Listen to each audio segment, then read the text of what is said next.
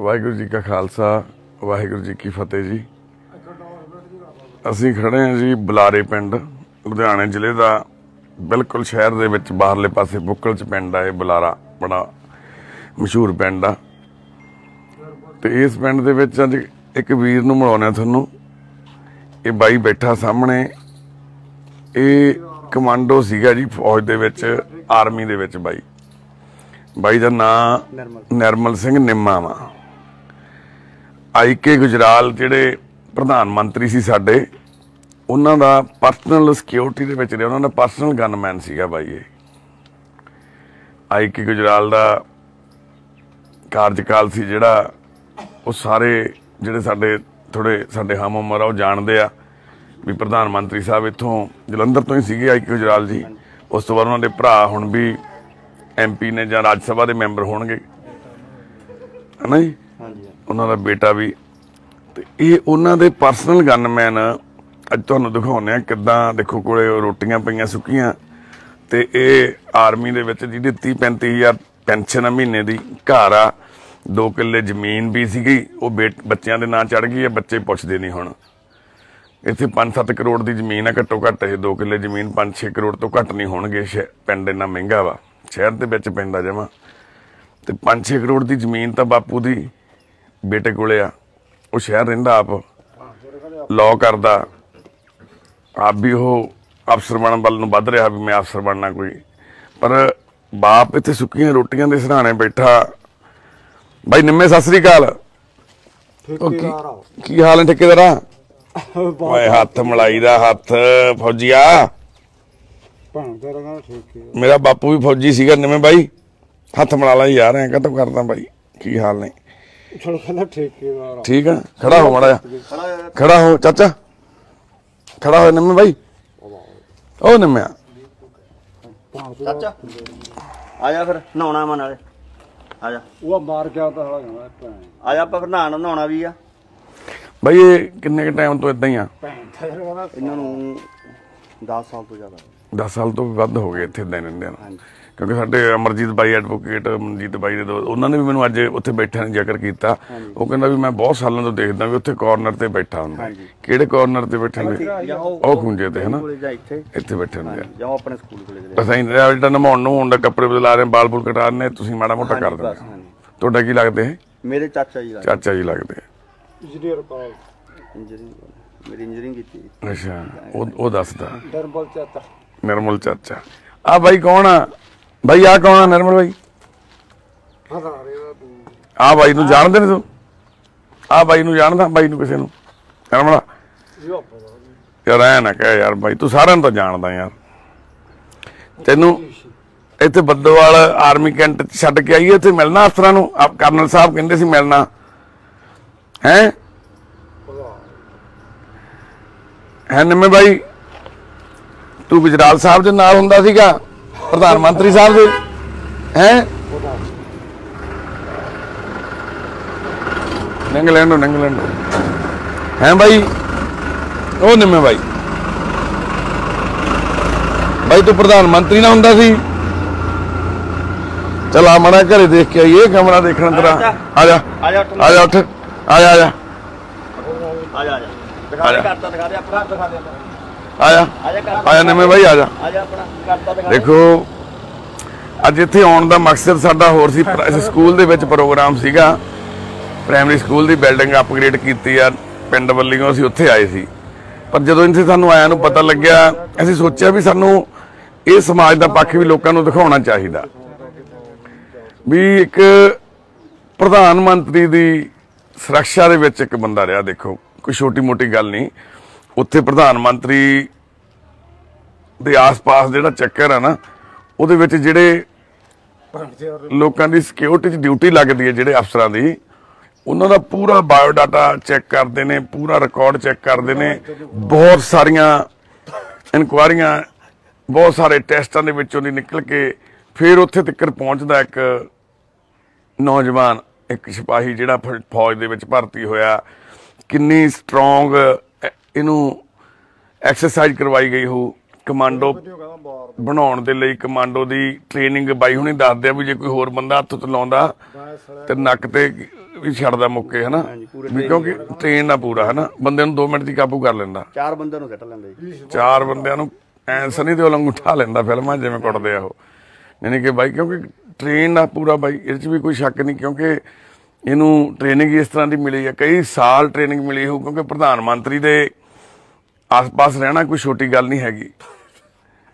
ਤੇ ਅੱਜ ਉਹ ਬੰਦਾ ਨਿਰਮਲ ਸਿੰਘ ਕਮਾਂਡਰ, ਕਮਾਂਡੋ ਨਿਰਮਲ ਸਿੰਘ ਸਾਡਾ ਅੱਜ ਇਸ ਹਾਲਾਤ 'ਚ ਪਹੁੰਚ ਗਿਆ। ਪਿਛਲੇ 10 ਸਾਲਾਂ ਤੋਂ ਇਦਾਂ ਹੀ, ਆ ਤਾਂ ਹਜੇ ਕੱਪੜੇ ਥੋੜੇ ਜਿਹੇ ਠੀਕ ਆ, ਪਰ ਹੁਣ ਵੀ ਗੰਦੇ ਬਹੁਤ ਆ ਕੱਪੜੇ। ਸ਼ਾਇਦ ਵੀਡੀਓ 'ਚ ਨਾ ਦਿਖਦੇ ਹੋਣ, ਪਰ ਬਹੁਤ ਹੀ ਮਾੜੇ ਹਾਲਾਤਾਂ ਦੇ ਵਿੱਚ ਜੀਵਨ ਬਤੀਤ ਕਰ ਰਿਹਾ। ਆ ਘਰ ਆ ਬਾਈ ਦਾ ਖੰਡਰ ਬਣੀ ਹੋਈ ਕੋਠੀ।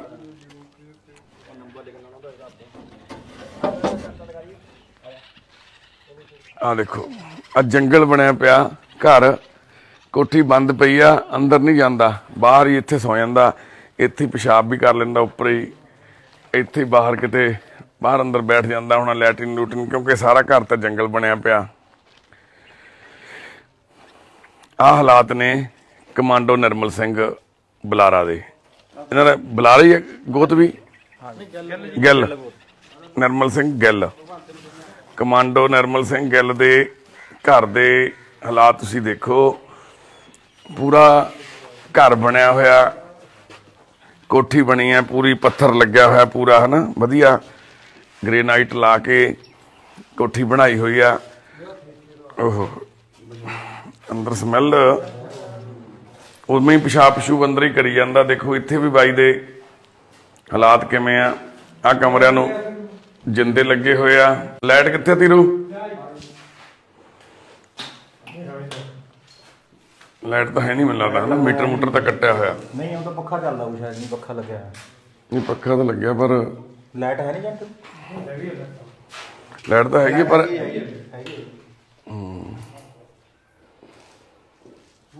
ਤੇ ਦੇਖੋ ਇੱਥੇ ਰਿੰਦਾ ਬਾਈ ਨਰਮਲ ਸਿੰਘ ਗਿੱਲ ਕਮਾਂਡੋ ਸਾਡੇ ਦੇਸ਼ ਦੀ ਸੇਵਾ ਕਰਨ ਵਾਲੇ ਲੋਕਾਂ ਦੀ ਵੀ ਕੋਈ ਸੁੱਧ ਬੁੱਧ ਲੈਣ ਵਾਲਾ ਨਹੀਂ ਇੱਥੇ। ਤੇ ਆਮ ਬੰਦੇ ਤਾਂ ਸੜਕਾਂ ਤੇ ਰੁਲਣੇ ਹੀ ਆ। ਆਮ ਬੰਦਿਆਂ ਦੇ ਤਾਂ ਕੀੜੇ ਪੈਣੇ ਹੀ ਆ ਆਮ ਬੰਦਿਆਂ ਨੇ ਤਾਂ ਨਰਕ ਭੋਗਣਾ ਹੀ ਆ। ਇਸ ਵੱਡੇ ਲੈਵਲ ਤੋਂ ਵੀ ਬੰਦਾ ਜਦੋਂ ਕਿਸੇ ਹਾਲਾਤਾਂ 'ਚ ਉਲਝ ਜਾਂਦਾ ਨਾ ਉਹਦੇ ਵੀ ਹਾਲਾਤ ਆ ਬਣ ਜਾਂਦੇ ਆ। ਬਾਈ ਹੁਣੀ ਦੱਸਦੇ ਆ ਵੀ ਇੱਥੇ ਆਏ ਵੀ ਸੀ ਫੌਜ ਫੂਜ ਵਾਲੇ ਬੰਦੇ ਵੀ ਇਹਨੂੰ ਮਿਲਣ। ਆਏ ਸੀ ਹਨਾ। ਤੇ ਉਹ ਵੀ ਆਏ ਦੇਖ ਕੇ ਗਏ ਇਹਨੂੰ। ਪਰ ਕੀਤਾ ਕਰਿਆ ਕੁਛ ਨਹੀਂ ਇਹਨੂੰ ਕਿਤੇ ਮੈਨੂੰ ਲੱਗਦਾ ਬਾਈ ਦਾਖਲ ਦੂਖਲ ਰੱਖਿਆ ਕਿਤੇ ਉਹਨਾਂ ਨੇ ਕੋਈ ਕੀਤਾ ਜੀ ਤਾਂ ਬਹੁਤ ਦੇਖ ਕੇ ਹਾਲਾਤ ਦੇਖ ਕੇ ਮੁੜ ਗਏ।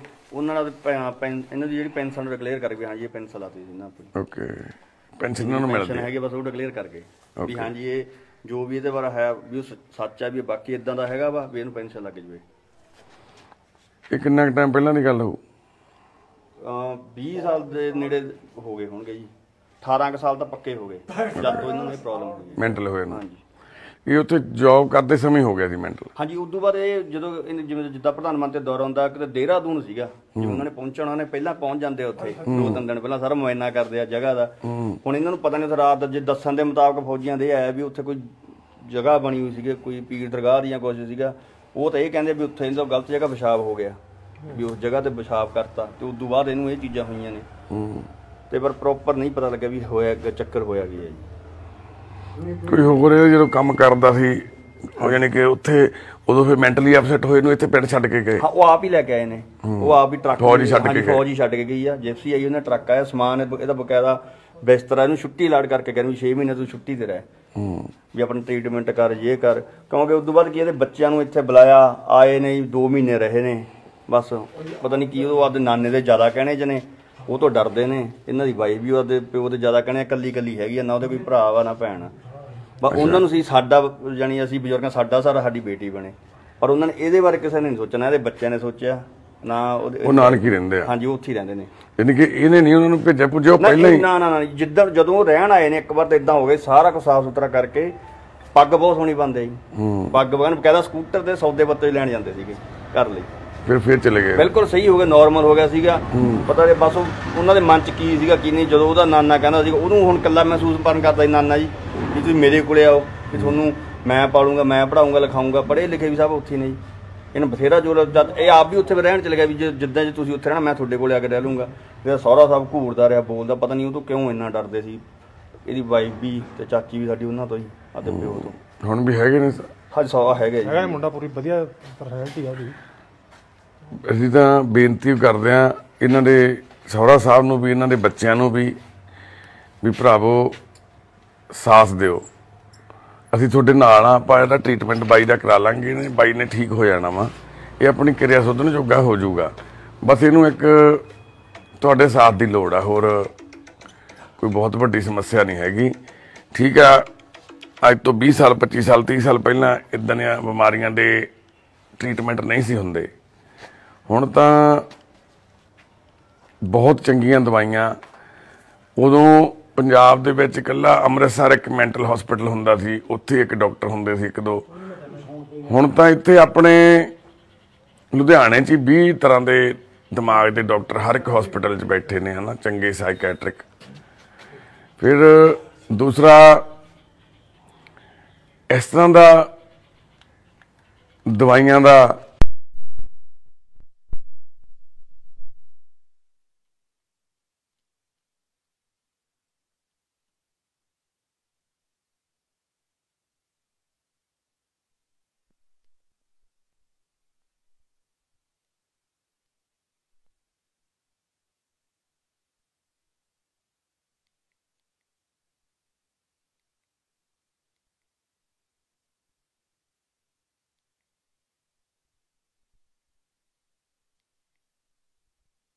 ਇਹ ਬਦਲੇ ਜਾ ਸਕਦੇ ਆ।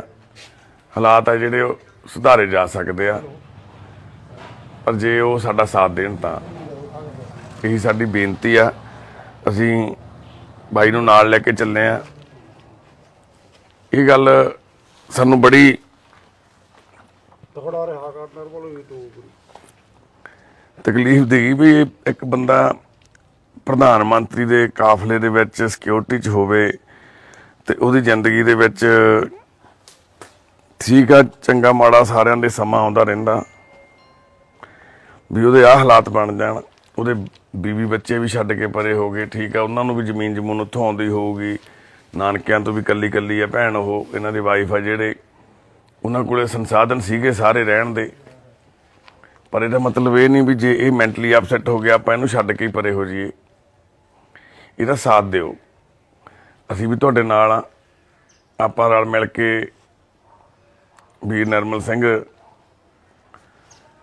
ਗਿੱਲ ਬਾਈ ਦੀ ਜ਼ਿੰਦਗੀ 'ਚ ਕੋਈ ਚੰਗਾ ਕਰ ਸਕਦੇ ਆ।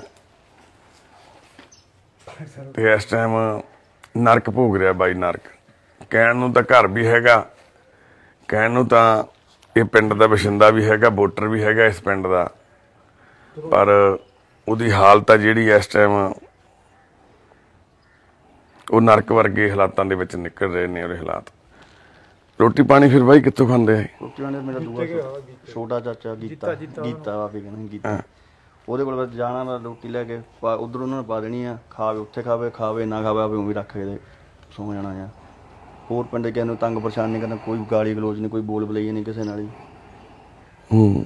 ਜਦੋਂ ਤੁਸੀਂ ਦੱਸਦੇ ਉਹਨੇ ਮਾਰਿਆ ਸੀ ਕਿਸੇ ਨੂੰ ਇੱਕ ਵਾਰੀ ਉਹਦਾ ਕੀ ਗੱਲ ਹੋ ਗਈ ਜਦੋਂ ਕੋਈ ਗੱਲਬਾਤ ਹੋਈ ਜਦੋਂ ਕੋਈ ਨਮਾਉਣ ਨੂੰ ਕਹਿੰਦਾ ਵਾ ਜਾਂ ਕੋਈ ਹੋਰ ਕਹਿੰਦਾ ਵਾ? ਉਹ ਆਪਣੇ ਉਹ ਸੀਗਾ ਸੋਨੀ ਦਾ ਭਰਾ। ਸੋਨੀ ਦਾ ਗਿੱਲਾ ਉਹਨੂੰ ਪਤਾ ਨਹੀਂ ਸੀਗਾ ਵੀ ਇਹ ਆਪਸੈਟ ਆ। ਇਹ ਬੋਲਦਾ ਸੀਗਾ ਜਦੋਂ ਬੋਲਦਾ ਜੀ ਉਹਨੂੰ ਉਹ ਆ ਕੇ ਕੋਲੇ ਖੜ ਗਿਆ। ਉਹਦਾ ਗਾਲਾਂ ਤੁਸੀਂ ਕਹੇ ਨੂੰ ਪਾਗਲਾ ਕਹਿੰਦਾ ਮੇਰੇ ਤਾਂ ਇਹਨੇ ਬੱਸ ਕਰਾ ਦੀ ਉਹਦੇ ਅੱਜਾ ਦੰਦਾਂ 'ਚ ਉਂਗਲਾਂ ਪਾ ਕੇ। ਉਹ ਬਹੁਤ ਮਾਰ ਮਾਰ ਮੁੱਕੀ ਇੱਥੇ ਦਾ ਫੋਨ ਕਰਾ ਨੱਕ ਜਦੋਂ ਉਹ ਤਾਂ ਚੰਗਾ ਬਿਜਲੀ ਬੋਰਡ 'ਚ ਸੀ ਉਹ ਮੈਂ ਹਾਂ ਫਿਰ ਉਹ 20 25 ਬੰਦੇ ਇਕੱਠੇ ਹੋ ਕੇ ਆ ਗਏ ਵੀ ਸਾਡੇ ਭਰਾ ਨੂੰ ਐ ਕਰਕੇ ਮਾਰਿਆ ਉਹਦਾ ਜਦੋਂ ਪਿੰਡ ਪਹੁੰਚੇ ਫਿਰ ਪਤਾ ਲੱਗਿਆ ਵੀ ਇਹ ਤਾਂ ਬੰਦਾ ਅਪਸੈਟ ਆ। ਇਹ ਹੁਣ ਜਿੱਦਾਂ ਵੀ ਬਾਹਰ ਬੈਠਾ ਬੋਲਦਾ ਗਾਲਾਂ ਬੰਦੇ ਨੂੰ ਕਿਸੇ ਨੇ ਗਾਲਾਂ ਕੱਢੀ ਕੱਢੂ ਉਹਨਾਂ ਨੂੰ ਆਈਡੀਪੀ ਪੁਲਿਸ ਵਾਲਿਆਂ ਨੂੰ ਜੋ ਵੀ ਇਹਨਾਂ ਆਰਮੀ ਵਾਲਿਆਂ ਦਾ ਵੀ ਮੈਂ ਇਦਾਂ ਇਦਾਂ ਬਸ ਹੋਰ ਉਹਨਾਂ ਨੂੰ ਕਿਸੇ ਕੱਢ ਹਾਂ, ਉਹਨਾਂ ਨੂੰ ਹੀ ਬੋਲਣਾ ਵਾ ਸਾਰਾ ਦਿਨ। ਹੈ। ਬਾਈ? ਉਹ ਨਰਮਲਾ ਕੀ ਗੱਲ ਹੋ ਗਈ ਸੀ? ਫੌਜ ਚੋਂ ਕਾਹਤੋਂ ਆ ਗਿਆ ਬਾਈ ਤੂੰ? ਉਹ 39 39 ਹੈ? 39 ਕੀ 39 ਹੈ? ਹੈ? ਦੋ ਕਰੀ ਦੀ ਹੁੰਦੀ। ਤੂੰ ਬਾਈ ਪ੍ਰਧਾਨ ਮੰਤਰੀ ਦੇ ਕਾਫਲੇ ਚ ਹੁੰਦਾ ਸੀ ਲਈ ਹੈ? ਉਹ ਨਰਮਲਾ ਪ੍ਰਧਾਨ ਮੰਤਰੀ ਦੇ ਕਾਫਲੇ ਚ ਹੁੰਦਾ ਸੀ ਬਾਈ। ਹੈ? ਮੈਂ ਵੀ ਉੱਥੇ ਹੁੰਦਾ ਸੀ ਬਾਈ ਤੂੰ ਦੇਖਿਆ ਮੈਨੂੰ ਉੱਥੇ ਆਹੋ ਕੈਮਰਾ ਰਹੀ ਜਾਂਦੇ ਆ। ਹੈਨਾ ਕੈਮਰਾ ਲਈ ਜਾਂਦੇ ਹਾਂ ਉੱਥੇ ਹੁੰਦੇ ਸੀ ਅਸੀਂ ਅਸੀਂ ਫੋਟੋਆਂ ਖਿੱਚਦੇ ਹੁੰਦੇ ਸੀਗੇ। ਠੇਕੇਦਾਰ ਆ ਗਿਆ। ਤੂੰ ਰਫਲ ਚੱਕੀ ਫਿਰਦਾ ਹੁੰਦਾ ਸੀ। ਠੇਕੇਦਾਰ ਆ ਗਿਆ। ਠੇਕੇਦਾਰ ਕਾਹਨੂੰ ਆਇਆ ਸੀ? ਤੇਰੀ ਸਿਕਿਉਰਿਟੀ ਬਾਹਰ ਪਾਰਕਾਂ ਦੇ ਵਿੱਚ ਤੁਸੀਂ ਪਾਰਕ 'ਚ। ਚਿੱਤੇ ਤੈਨੂੰ? ਤੇਰੀ ਨਾਈਟ ਡਿਊਟੀ ਸੀਗੀ। ਹੈ? ਬਾਬਾ ਜੀ। ਜ਼ਿਆਦਾ ਦਿਨ ਨਰਮਲਾ? ਹਾਂਜੀ ਬਾਬਾ ਜੀ। ਆਪਾਂ ਰਾਤ ਨੂੰ ਇਕੱਠਿਆਂ ਨੇ ਫਿਰ ਉੱਥੇ ਡਿਨਰ ਕੀਤਾ ਸੀ। ਉਹ ਨਰਮਲ ਬਾਈ। ਹੈ? ਜ਼ਿਆਦਾ ਬਾਬਾ ਜੀ। ਖੜਾ ਹੋ। ਖੜਾ ਹੋ। ਨਰਮਲ ਖੜਾ ਹੋ ਬਾਈ। ਤੈਨੂੰ ਜ਼ਿਆਦਾ ਇੱਧਰ ਦੇਖ ਮੇਰੇ ਵੱਲ।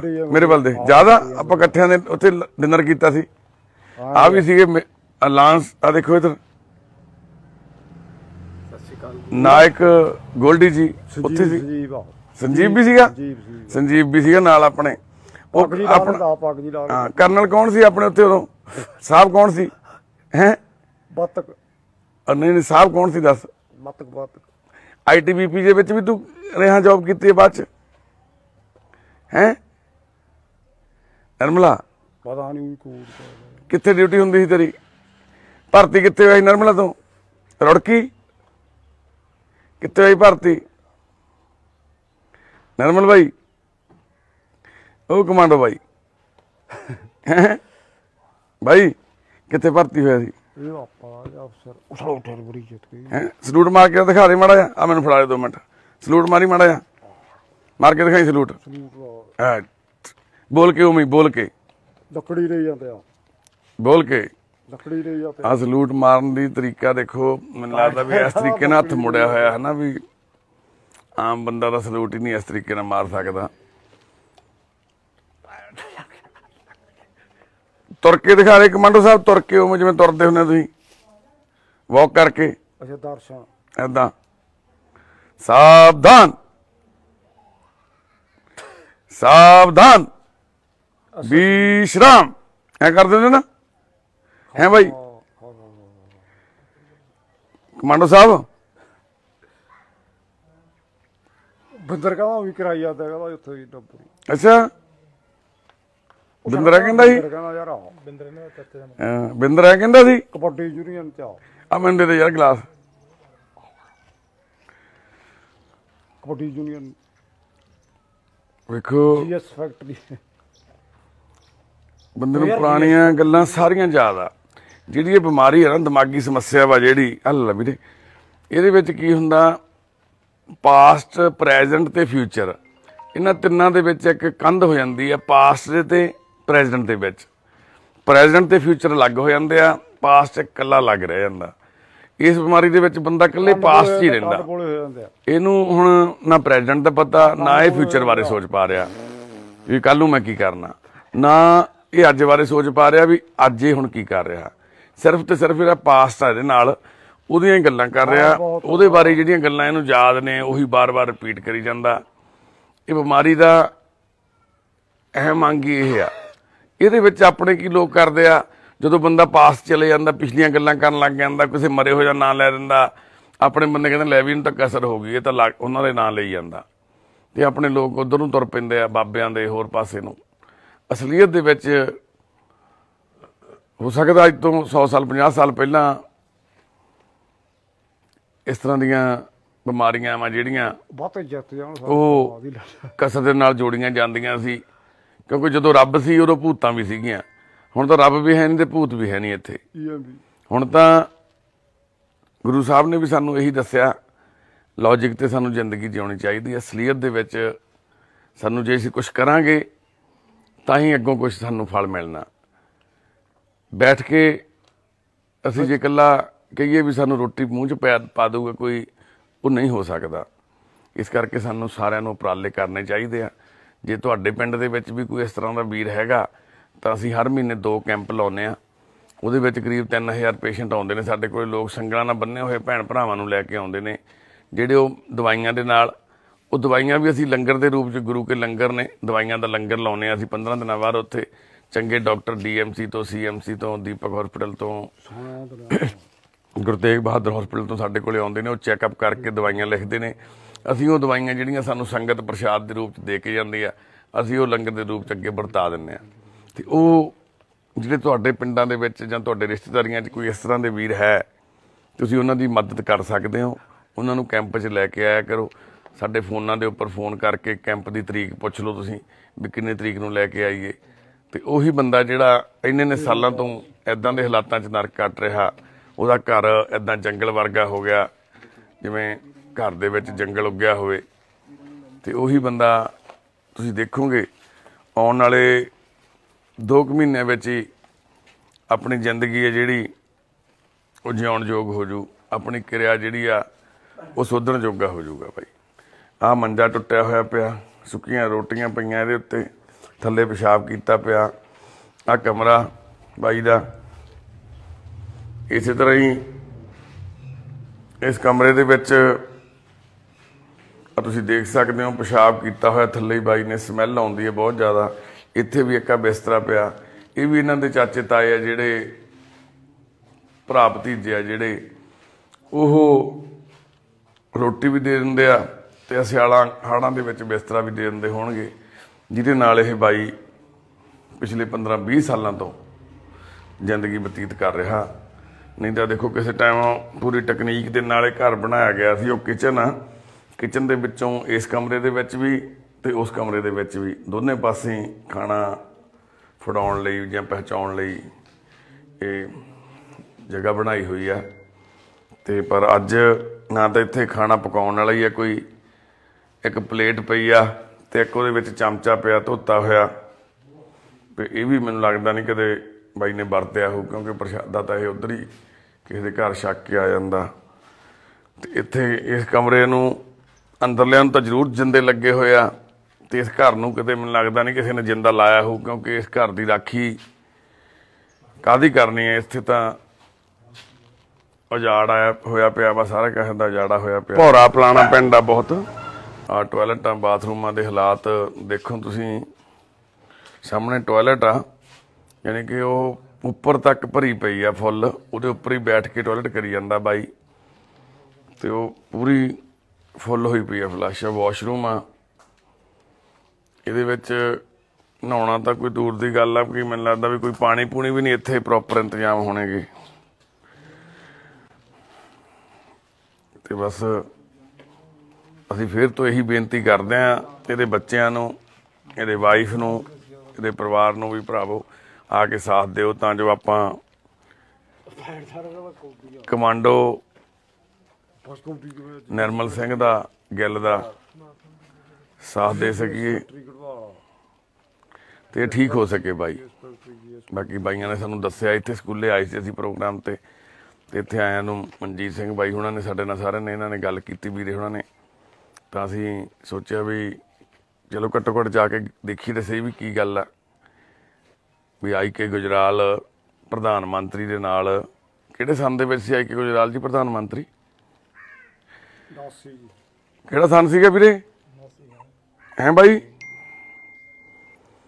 ਉਹ ਬਾਈ ਕਿਹੜੇ ਸੰਨ ਦੀ ਗੱਲ ਆ? 7979 79 ਨਹੀਂ ਨਹੀਂ 79 ਦੀ ਤਾਂ ਨਹੀਂ ਗੱਲ ਹੋਈ। ਨਹੀਂ ਨਹੀਂ। I K Gujral. To Wikipedia. Prime minister ਇਹ ਸੀਗਾ ਬਾਈ ਜੀ, ਹਾਂਜੀ? ਆਪੇ ਸੌ ਜਾਣਾ 1997 ਦੇ ਵਿੱਚ ਬਣੇ ਸੀ ਉਹ। 12ਵੇਂ ਪ੍ਰਾਈਮ ਮਿਨਿਸਟਰ ਸੀਗੇ ਇੰਡੀਆ ਦੇ ਉਹ ਜੀ। 1997 ਦੇ ਬਣੇ, ਮਾਰਚ 1998 ਦੇ ਵਿੱਚ ਉਹ ਰੀਟੈਂਟ ਕਹਤੇ ਇੱਕ ਸਾਲ ਲਈ ਪ੍ਰਧਾਨ ਮੰਤਰੀ ਬਣੇ ਸੀਗੇ। ਰੀਟੈਂਟ ਕਹਤੇ ਹਾਂ। ਹਾਂਜੀ ਹਾਂਜੀ। ਤੇ 12 ਦੇ ਵਿੱਚ ਉਹ ਚੜ੍ਹਾਈ ਕਰ ਗਏ ਜੀ। ਤੇ ਉਹਨਾਂ ਦੇ ਇਹ ਪਰਸਨਲ ਗਨਮੈਨ ਰਹੇ ਦੇਖੋ ਪ੍ਰਧਾਨ ਮੰਤਰੀ ਸਾਹਿਬ ਦੇ। ਤੇ ਅੱਜ ਇਹ ਛੋਟੋ ਪਰੇ ਹੁਣ। ਇਸ ਤਰ੍ਹਾਂ ਦੇ ਹਾਲਾਤਾਂ ਦੇ ਵਿੱਚ ਜੀਵਨ ਆ ਚਲਿਏ ਬਾਈ ਨਿਰਮਲਾ ਚੱਲ ਚਲਿਏ। ਆ ਜਾ ਬਾਈ ਚੱਲ ਖੜਾ ਹੋ। ਆ ਜਾ ਮੇਰਾ ਬਾਈ। ਬਾਈ ਨੂੰ ਤਾਂ ਸਾਨੂੰ ਹੱਥ ਫੜਨ ਨੂੰ ਵੀ ਲੱਗਦਾ ਵੀ ਕਮਾਂਡੋ ਆ। ਆ ਜਾ ਬਾਈ ਹੋਣ ਮਾਰਕੀਟ ਆ ਚਲਿਏ ਬਾਈ। ਆ ਚਲਿਏ ਆ ਚਲਿਏ। ਆ ਆ। ਜਾ ਆ ਜਾ ਆ ਜਾ। ਸਤਿ ਸ਼੍ਰੀ ਅਕਾਲ ਮਾਤਾ ਜੀ। ਮਾਤਾ ਜੀ ਬਾਈ ਇਦਾਂ ਹੀ ਰਹਿੰਦਾ ਕਾਫੀ ਸਾਲਾਂ ਤੋਂ? ਕਿੰਨੇ ਸਾਲ ਹੋ ਗਏ ਜੀ ਹੋਣਗੇ?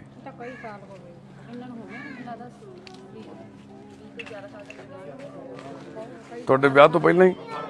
ਇਦਾਂ ਹੀ? ਇੱਥੇ ਬੈਠੇ ਰਹਿੰਦੇ ਦਿਨ ਹੋ ਗਏ ਸੀਗੇ ਚਾਚਾ ਜੀ ਨੇ ਉਦੋਂ ਤੁਹਾਡੇ। ਹਾਂ ਜੀ। ਚਾਚਾ ਜੀ ਨੇ ਕਿਤੋਂ ਨਹੀਂ ਬੈਠਣਾ ਹੈਗਾ ਅਸਾਂ ਫਿਰੀ ਫਿਰੀ ਜਾਣਾ। ਕਦੇ ਕਿਤੇ ਕਦੇ ਕਿਤੇ। ਜੇ ਬੋਲਣ ਲੱਗੇ ਤਾਂ ਬੋਲੀ ਜਾਣਾ ਨਹੀਂ ਜੇ ਚੱਪ ਲੱਗ ਆਇਆ ਨਿੰਮੇ ਬਾਈ? ਐ ਤਾਂ ਸਮਝ ਤਾਂ ਸਾਰੀ ਆ। ਗਿੱਲ ਸਾਹਿਬ ਚਲ ਆ ਚੱਲੀਏ ਆਪਾਂ। ਚਲ ਆ ਜਾ। ਚੱਲ ਕੇ ਆਈਏ ਆ ਜਾ ਕਿਹੜਾ ਕੱਢ ਕੇ ਆਈਏ। ਤੇਰੇ ਜਵਾਕਾਂ ਕੋਲ ਕਿਹੜਾ ਕੱਢ ਕੇ ਆਉਣਾ ਚੱਲ ਆ। ਉਹਦਾ ਜਾ ਚੱਲੀ ਆ ਜਾ। ਆ ਜਾ ਮੇਰਾ ਬਾਈ ਆ ਜਾ। ਆ ਜਾ ਬਾਈ। ਆ ਜਾ ਯਾਰ। ਓਏ ਆ ਜਾ ਚੱਲਦੇ ਆ। ਉਹ ਦਵਾਈ ਲੈਣੀ ਆ। ਸਤਨਾਮ ਆ ਕੇ ਨਾ ਭਾਈ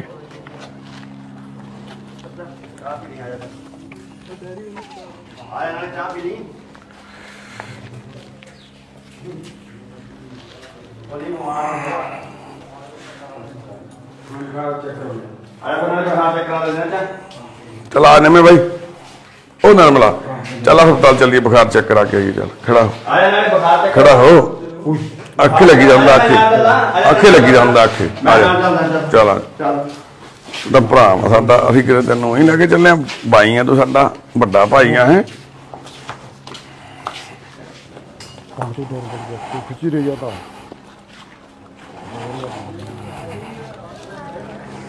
ਆਇਆ ਮੈਂ ਨਾਲ ਚੱਲਦਾ ਮੈਂ ਨਾਲ ਜਾਣਾ ਚਾਚਾ। ਥੋੜੇ ਟਾਈਮ 'ਚ ਠੀਕ ਹੋ ਕੇ ਮੁੜ ਆਉਣਾ ਹਾਂ ਤੂੰ ਮੈਂ ਨਾਲ ਹੀ ਚੱਲਦਾ ਆ ਬੁਖਾਰ ਚੈੱਕ ਕਰਾ ਕੇ ਮੁੜ ਆਉਣਾ ਆਪਾਂ ਕਿਤੇ ਉੱਥੇ ਰਹਿਣਾ। ਬੁਖਾਰ ਹੋ ਗਿਆ? ਬੁਖਾਰ ਚੈੱਕ ਕਰਾ ਲੈਨੇ ਆਪਾਂ ਆ ਜਾ ਕਿਹੜੀ ਗੱਲ ਕਰਤੀ ਬਾਈ? ਬਸ ਅਰਦਾਸ ਕਰਿਓ ਜੀ ਇਹ ਬਾਈ ਕਮਾਂਡੋ ਨਰਮਲ ਸਿੰਘ ਗਿੱਲ ਵਾਸਤੇ ਵੀ ਇਹ ਬਾਈ ਠੀਕ ਹੋ ਕੇ ਆਪਣਾ ਚੰਗਾ ਜੀਵਨ ਬਤੀਤ ਕਰੇ। ਪਿੱਛੇ ਨਾ ਬਿਠਾਈਏ ਨਾ। ਬਾਈ ਤੁਹਾਡੇ ਵਾਲੀ ਗੱਡੀ ਕਿੱਥੇ ਆ? ਆਪਾਂ ਨਾਲ ਛੱਡ ਦੋਗੇ ਇਹਨੂੰ ਆਪਾਂ ਅੰਦਰ ਬਿਠਾ ਲੈਣੇ ਆ ਨਾ ਹਨਾ? ਨਾਲ ਸਾਡੇ ਨਾਲ ਇੱਕ ਬੰਦਾ ਛੱਡਿਆ ਹੋਊਗਾ ਉੱਥੇ ਜਾ ਕੇ। ਆਹ ਚੱਕ ਕੇ ਪਰੇ ਨੂੰ ਕਰ। ਬਹਿ ਜਾਂਦੇ ਬਾਈ ਖੜ ਜਾ ਬਹਿ ਜਾ ਵੀ ਨੰਮੀ। ਬਹਿ ਜਾ ਬਹਿ ਜਾ, ਠੀਕ ਹੋ ਕੇ ਬਹਿ ਜਾ। ਪਰਲੇ ਪਾਸੇ ਉਹ ਚੱਕ ਸਕੇ ਸਮਾਨ। ਆ ਪੈਰਾਂ 'ਚ ਸਮਾਨ ਚੱਕੋ ਸਾਰਾ। ਨਹੀਂ ਰਹਿਣ ਦੋ ਗੰਦਾ ਬਹੁਤ ਲੱਗਦਾ ਉੱਥੇ। ਬਾਈ ਹੋ ਜਾ ਨਿੰਮੇ ਇੱਧਰ ਬਾਈ। ਐਨ ਹੋ ਜਾ ਬਾਈ ਥੋੜਾ ਜਾ ਹੋ ਜਾ ਹੋ ਜਾ ਇਹਨੂੰ ਇਧਰੋਂ ਬੰਦੇ ਨੇ ਬਹਿਣਾ, ਗੋਲਡੀ ਨੇ ਤੇਰੇ ਨਾਲ। ਚੱਲ ਵੀ ਗੋਲਡੀ ਬਾਈ, ਬੈਠ ਕੇ ਨਾ। ਇੱਧਰ ਦੀ ਇੱਧਰ ਦੀ ਬਾਈ। ਨਿੰਮੇ ਬਾਈ, ਪਰੇ ਨੂੰ ਹੋ ਜਾ। ਹਾਂਜੀ, ਇਦਾਂ ਕਰ ਲੈਂਦੇ ਠੀਕ ਆ ਜੀ।